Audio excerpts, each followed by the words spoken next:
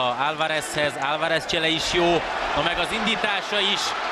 Zitzer a videóton előtt, és a Zitzer gólra váltja Nikolic 2-0.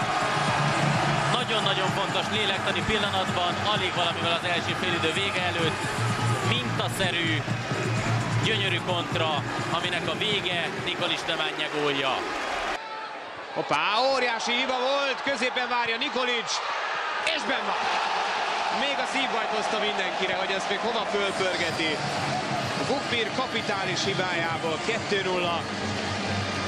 És hogyha minden idők legjobb rajtját produkálja a videóton, Meg némi hosszabbítás arra, hogy betalálja szép csel Álvarez. Nikolic, Nikolic helyzetben megvan a 99.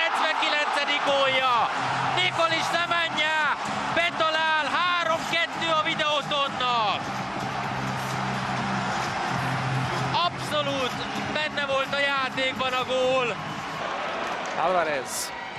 Nikolic, Alvarez, nagyon nagy csel, gól! Nagy csere volt, 2-0 a videótonnak. Már az előbb is volt egy remek lövése, most pedig gólt szerez Arturo Alvarez.